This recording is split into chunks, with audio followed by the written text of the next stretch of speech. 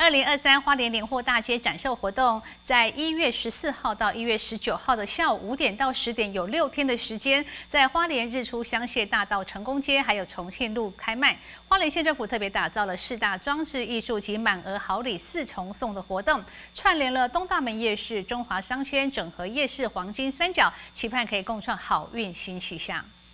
县长徐正伟表示，花莲年货大街举办多年，已有众多忠实的乡亲期盼展售活动能够再次开跑，也是许多人心中采买年货、伴手礼的首选集散地。虎池盛岁，兔耀星辰，今年更是添加历年年货大街不同的亮点特色，让年年到此打卡的乡亲也能够有新的体验，买足春节必须要的必需品。在年货大街上，除了展示。哦，我们花莲县各农会在一年来对于农友的产品的这个开发以及这个包装行销给我们乡亲以外，对于我们来推荐全国各地的好东西来到年货大街，来让我们的乡亲这个品味更有年味，而且全国最不一样的年货大街在花莲。那年年我们当然就就有非常多的抽奖以及好礼来相送。就是希望大家透过年货大街一次购足，而且哦在那里也可以品尝，也可以细细的走走，